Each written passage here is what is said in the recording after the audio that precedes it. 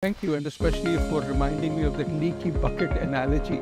So I think these are the four or five major challenges. How massive amount of subsidy that is being promised. Would you do it in other geographies? This will generate close to 2.5 million jobs. It's great to have Mr. Saurabh Kumar with us.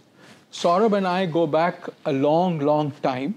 We have worked together, and he has since been the green energy man of India, bringing LED bulbs into our homes through the various programs uh, which have been launched by the company that he used to head, Energy Efficiency Services Limited or EESL.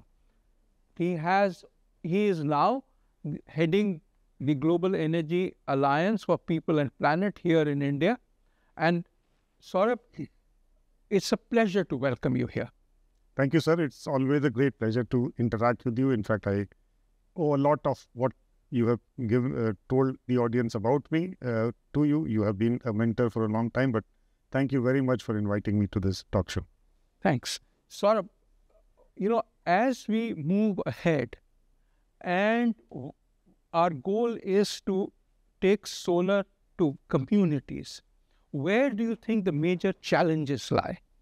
I think two or three things which are which are absolutely necessary, and and to me, uh, providing solar rooftop solutions Mhm. along with equipments is is really the kind of just energy transition that we uh, need to have in a in a climate constrained world, and therefore it is not just the renewable energy. You have to also package it with energy efficiency, uh, particularly lighting and cooling, fans and and uh, uh, bulbs, and and that's because if you have include efficient fans and efficient uh, uh, lighting, which are the two main things in a low uh, income community uh, for as far as energy use is concerned, then you reduce the overall requirement of, of the solar panels, which means it, it reduces the cost to either the community or whosoever else is funding that whole thing. So I see this as a movement towards just energy transition by combining both energy efficiency and uh, and uh, it's at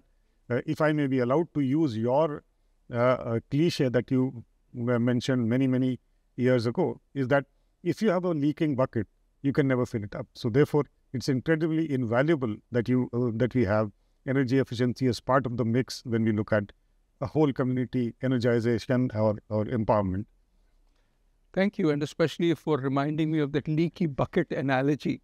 Uh, I think today, more than any uh, time before, that leaking bucket analogy is very important to us because oh, it does matter that if the size of the bucket is this or this. So, as we look at the energy efficiency and renewable energy programs together, we have seen them happen at household level. We, we, haven't seen them happen at a village level. What will it take to upscale it so that all communities in the country, all communities in a in a geographical jurisdiction have access to the benefits of energy from solar? I think uh, we uh, need not go very far to figure out what it takes. Uh, we have to just look at what is happening as we speak in India. The 10 million solar uh, rooftop scheme that was announced by the Mhm. Honorable Prime Minister, I think takes into account three, four major challenges and how it overcomes those challenges. And and and to my mind, these challenges are a lack of information. Don't know. And therefore, you see a massive outreach campaign on this national rooftop. Uh, number two is is the transaction costs. Okay. Uh, if I am an individual owner of a, of a roof, I have to go through multiple layers of approvals, and that I, I presume any other country will have the same thing.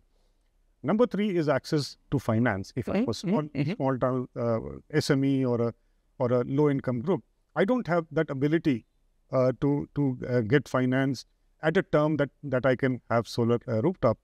Fourthly, uh, is where are the vendors? I don't know. Right. I don't know how how, how to reach them. They don't have enough um, uh, credi- uh, credibility on myself as a, as a house owner and my ability to pay them over a 10, 15 year period. So I think these are the four, five major challenges. How this scheme has very effectively made sure that all these challenges are taken care of is by a very, very elaborate digital backend platform Mm. that is being Mm. developed. Mm. And we are extremely proud that uh, MNRE has chosen GEAPP to help them develop this platform. This platform is a single window clearance for everything, starting from registration to understanding how much is your potential of your rooftop, then getting you approvals, uh, uh, sitting in the comfort of your home, connecting you with vendors and financiers, Okay. and finally, a amount of a, a massive amount of subsidy that is being promised will also flow through the portal. So, and once the installation is complete, what this platform will do is to monitor Mhm. your your consumption. Also, whether you, if you're if you're pushing electricity back to the grid, uh, are you getting paid on time? So, I think what is needed is a, a kind of a digital platform to scale it up Right. and and And bring it all together. and bring it all together. So, you said that as the Global Energy Alliance for People and Planet or GEAPP, you are helping MNRE do this. Would you do it in other geographies? So, in fact, uh, uh, that is precisely our interest in this whole program Uh-huh. that A, we demonstrate success here. Now, this is very much exportable to any country. In fact, uh, this is what we call a scalable solution. This can go to Nigeria, this can go Mhm. with, of course, there will be tweaks. Tweaks which are national, yeah. But our aim is to basically take this, once we uh, make this and run this effectively in India, make it available to any other country, including through ISA member countries, if they are willing to uh, take that. We are very happy to provide support and make sure that we uh, use this to scale up uh, rooftop solar in, in every which So, that we can. Uh, let me follow up on this. So, what is it that you think should be the next steps in enabling this? So what we are doing is we are we it is not just the solar rooftop program right? Right. And again, uh, under your leadership at uh, the Bureau of Energy Efficiency and also later on in EESL, I must say India has done extremely well when it comes to energy efficiency, clean energy. There are many, many uh, uh, programs that have been successfully uh, been, uh, implemented, and I'll name a few. One is the Perform, Achieve, and Trade mechanism Mhm. that we evolved in, in uh, which is a very unique program. Not many countries have been able to uh, do this program. The other is your uh, the Solar Energy Corporation of India, how it was set up, how it aggregated demand for solar, and from where we were in 2010-11, where we were about 17 rupees per Yeah, unit. Today right. we are at 245. Now these are all things that can be done elsewhere in the world. So we are setting up a, a, a entity called Grace, and something that we have been discussing with ISA to have a partnership with this uh, with us on this. What we want to do is to have these scalable solutions incubated through this entity, Mhm. and then this entity takes this to a, a, a ISA member country or anybody else, Right. and helps them replicate success uh, by making the changes that are needed, so that uh, the real fruits of of uh, uh, cost reductions and and uh, and a clean energy revolution also happens in that uh, geography. So this is very interesting because what it tells is a real gr- uh, nuts and bolts way of taking solar to ho- people's homes. What are the kinds of capacity building? What is the kind of skills that is needed in order to sustain this? So if you if you let me give you some numbers that we have been able to uh, put together for rooftop. If Mhm. we are, if we succeed in the next one or two years to do 10 million rooftops as a nation, uh, it will install a minimum of 30 gigawatts of uh, solar rooftop uh, in in in the entire country. This will generate close to 2.5 million jobs Right. and and these jobs start from uh, uh, installation, maintenance, and so on and so forth. So jobs which haven't existed. Uh, they didn't exist at this moment, and even today, we need at least two hundred thousand installation agencies in the country. So you need to a skill people in Mhm. in solar. You have to train them on installation of these uh, rooftops. You have to train them on maintenance of these rooftops, and and uh, uh, So sort of this adds one more wrinkle to this, which is getting to financial investment that those companies need. The guys who are going to maintain it, those companies will need resources. Who will invest in them? So again, because there is there is a, a, a, a, element of revenue that is going to come up, uh, and and again, I'll go back to our, your first point on what is why energy efficiency is needed. So let's take a low uh, income um, household that has a requirement of three kilowatt of solar, uh, which is a panel cost about one one and a half uh, lakh rupees. Government is giving seventy eight thousand as subsidy. Right.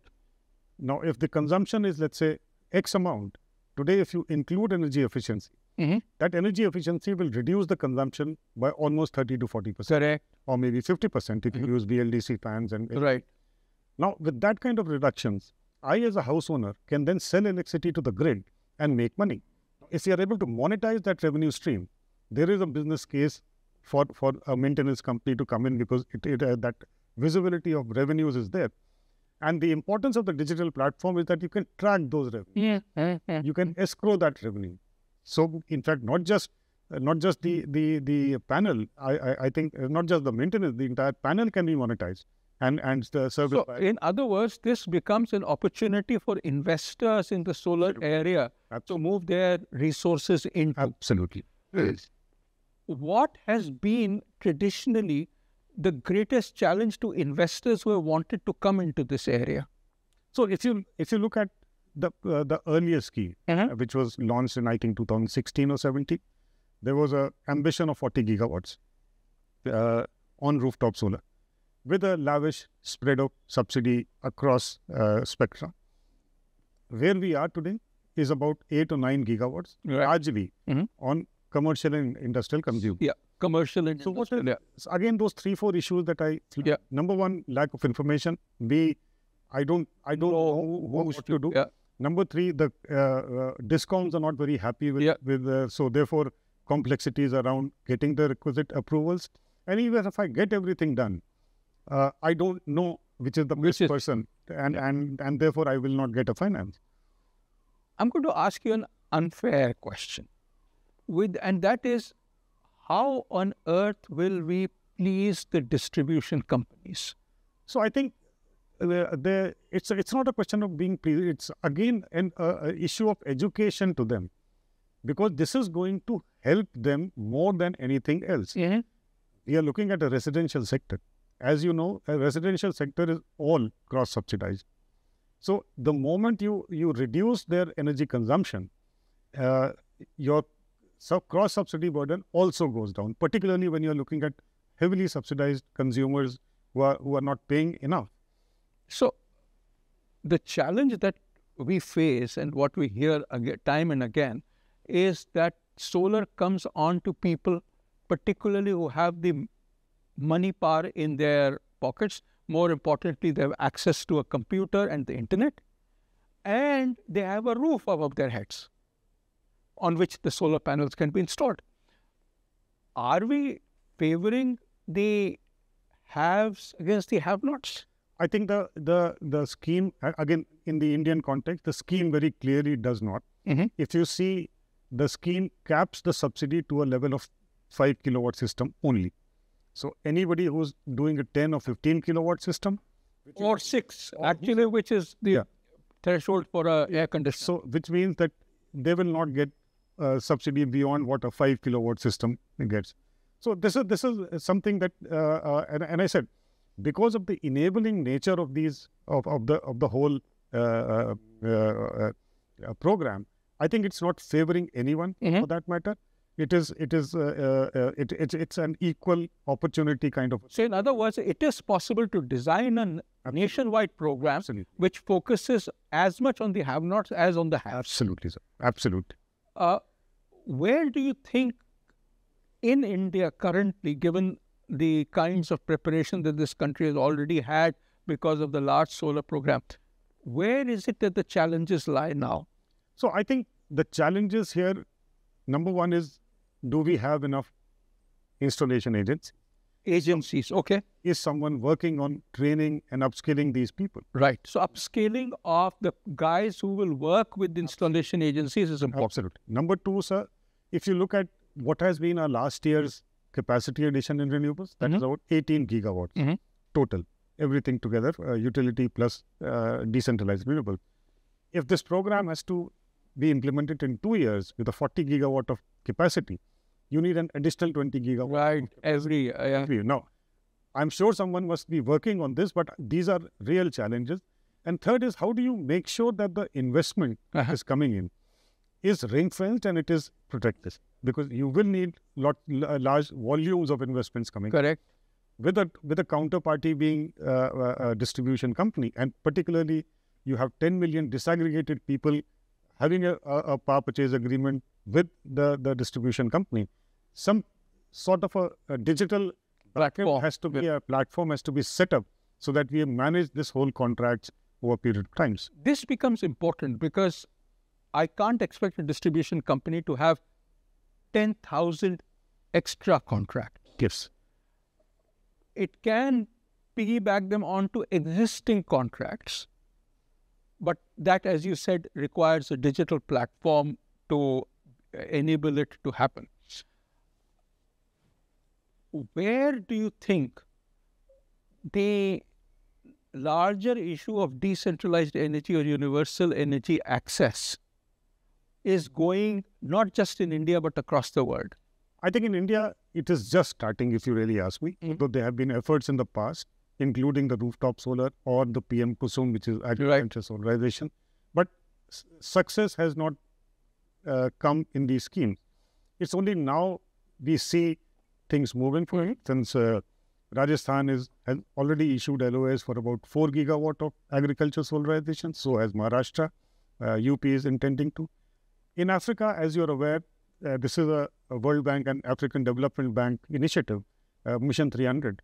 Mission 300 essentially looks at electrifying Electric 300 million people. households uh, over the next six years.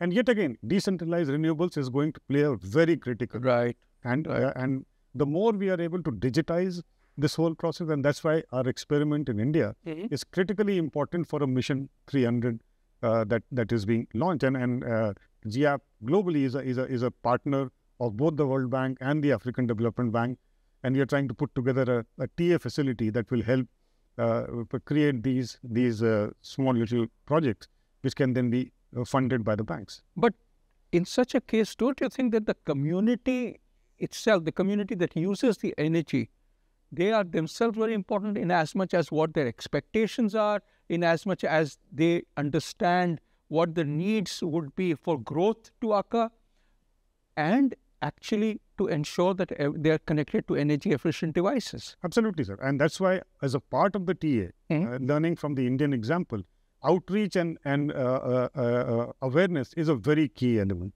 That's how you will bring the people together. There are enough uh, uh, mm, uh, uh, things that are that are beneficial to the community, to the household owner, but it has to be communicated well.